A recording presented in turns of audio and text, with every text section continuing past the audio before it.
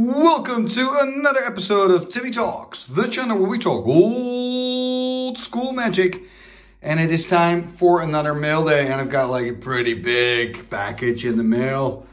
So uh, this is sent to me by Petra from Belgium, uh, and it's pretty cool. You know, she contacted me, she said, you know, I want to send something for your mail day videos. I'm like, yeah, of course, go ahead. So this is it, it's in this pack, of no idea what it is. I assume it must be something magic related. Uh, maybe cool to note is that this is the king of Belgium. And this is a duck. No idea how they are related, but here you go. So now you know what the king of Belgium looks like. And we're gonna open it up here. I think we're supposed to, oh wait, wait, wait. Here's like an opening. We rip it open. Oh, so Petra, thank you very much for sending this over. I really appreciate it. It's just always great when people send you things. And, ooh, this looks cool. Okay, so always check, right? And yes, it's absolutely empty. And we've got a pretty cool card. Greetings from Genk. And Genk, it's actually quite a nice city. Um, I celebrated New Year's Eve in your city once.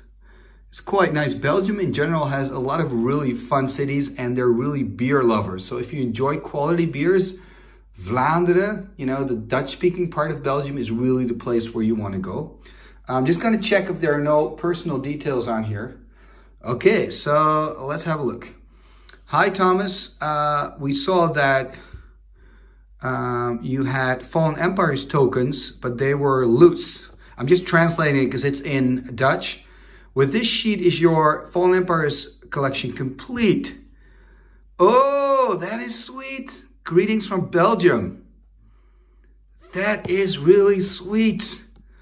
That is, and she's saying maybe you can kind of inform the audience about this. And wow, really? This is, the, the thing is, these tokens, if they're in here, and I'm sure they are because it's what, what, what Petra has put in this, in, in, in this postcard is, um, they added the, the tokens of Fallen Empire in one of the, um, uh, in, in, in the duelist, I believe. You know what? We're just going to open it up. I'm getting excited now. This is really something special. Uh, okay, so let's have a look. So first off, we have this beautiful box, it seems, of Fallen Empires. Now, I've got two boxes of my own, but they're really damaged.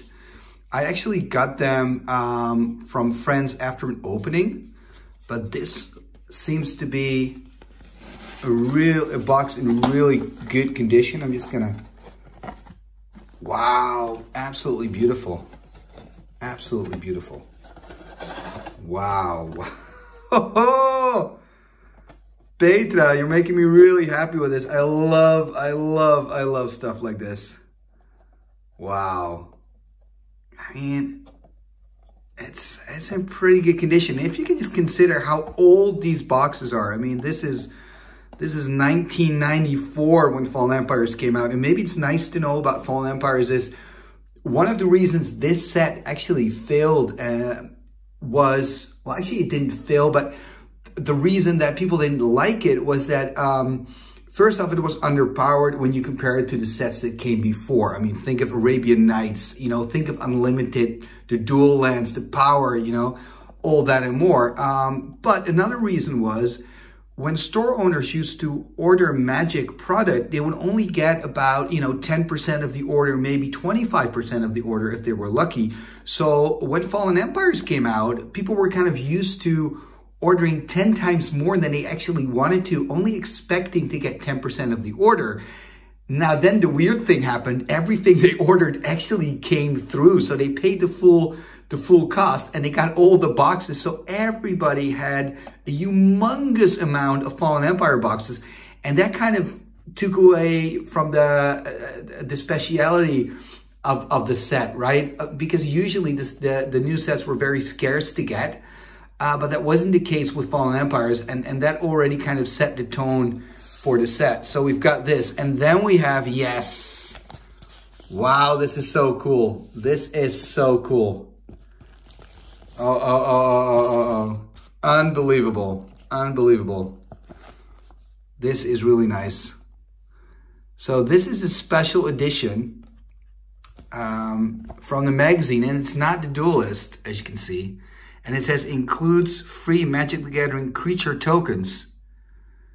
And those creature tokens are the creature tokens that you need for Fallen Empires. I'm just gonna show it. I'm not gonna open this up. I wanna keep this mint to be part of my Fallen Empires collection. And here you actually see the tokens. Oh, and they're different. They're not the ones I have. These are others. Tokens. Wow.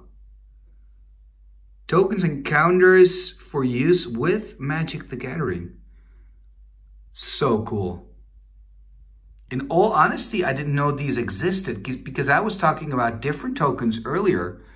Um, you know what? I'm just going to pause the video for a moment and I'm going to look up the tokens that I have because it's in the cupboard behind me, but I just got to kind of find the, find the right binder. So I'll be right back and then I'll show you the tokens that I was talking about. But this is absolutely stunning. Thank you so much for this, Petra. This is, uh, this is amazing. Okay, I'm back. I did some research because believe it or not, I don't know everything about magic, but it all came back to me. It makes absolute sense. So this is Armada. This is not a magazine. This is a comic book, and this is the second in the series. You'll have a first edition, or actually comic number one, and this is comic number two, and they're all about the fallen empires. Um, and yeah, wow. I actually, ah, man. Part of me kind of wants to open it. Look at that art. I mean, I want to see what else is in there. Okay, but I'm just going to, I'm going to keep it closed for now. I first want to show you the tokens that I was talking about. So you had Duelist I believe it was Duelist number four that had a Fallen Empires booster pack in there. And um, it also had the tokens that you could use for Fallen Empires. And this is the binder where I have my part of my Fallen Empire collection in. And I actually have a video if you want to see like the full collection, if you're interested in that. But for now, it might be nice to kind of show you those tokens. So I'm just going to pick the camera up. So here you see the tokens. And as you can see, they're separate. So obviously when you have that original Duelist magazine, um, you kind of have the whole sheet. So they're together as a sheet. So there's a lot of glare here, but it's still kind of clear.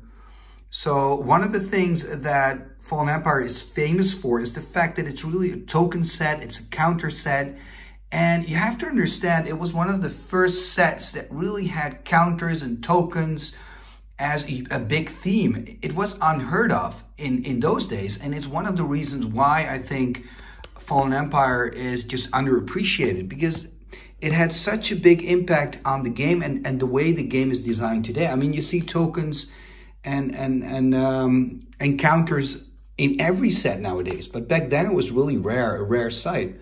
Um, so these, for example, let's see, let's try to, you know, I'll just take one out and show you.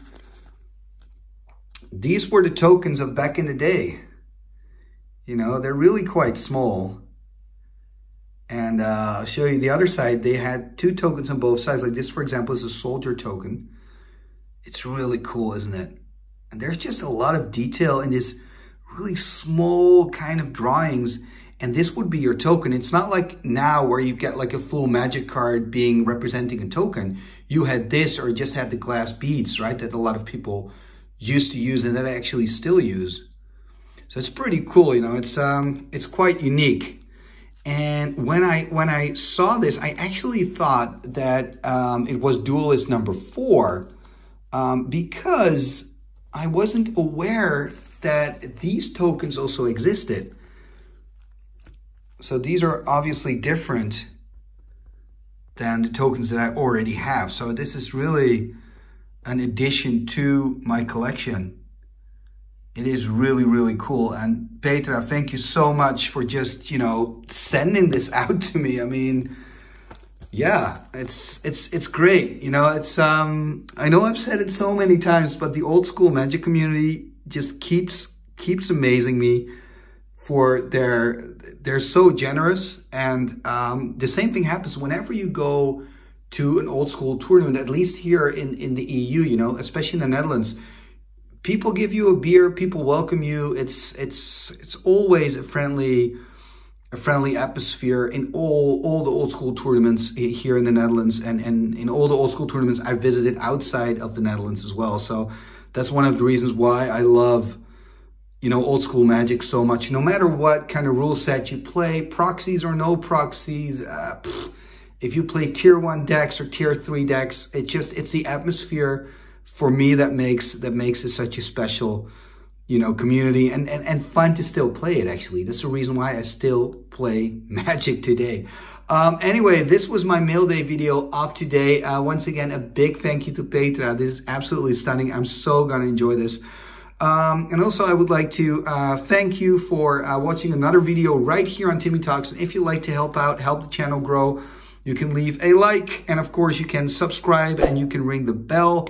There's a pretty cool animation going off right now. Um, and uh, what else you can do is actually you can become a patron uh, if you really want to support me financially as well and help me, uh, you know, keep the channel afloat. And you can do that by uh, by joining the Timmy Talks Patreon, a patron program on Patreon, I should say. There's probably a link popping up right now, so you can click there. That'll take you to the Timmy Talks Patreon page. And the cool thing is, uh, I am about to um, to organize an Ice Age tournament that's going to happen in December. So if you're an Ice Age fan, uh, yeah, you could uh, consider joining the Patreon program uh, because I organize special tournaments to thank my channel members and patrons for their support. So it's really something I do on top of the content I make just to thank the people that, you know, also support me financially. And um, yeah, wow. And then you also have great fans like, like Peter who just send me these beautiful things and uh, it's absolutely amazing. Uh, this is the um, this is the mail day for today. I guess that's what I want to say. Now let's go to the end scroll. Let's take a look at all the amazing, fantastic, wunderbar patrons and channel members of Timmy Talks. What shall we do with the drunken sailor? What shall we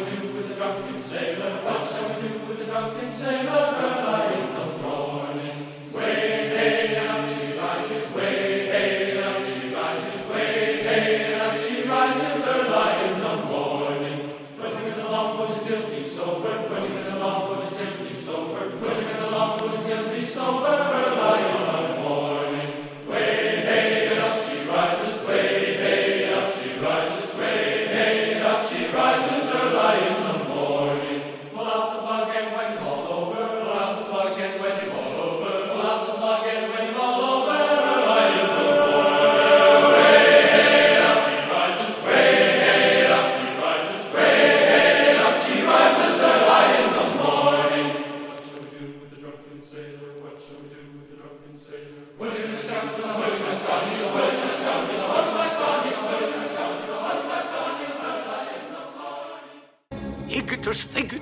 bakıcı.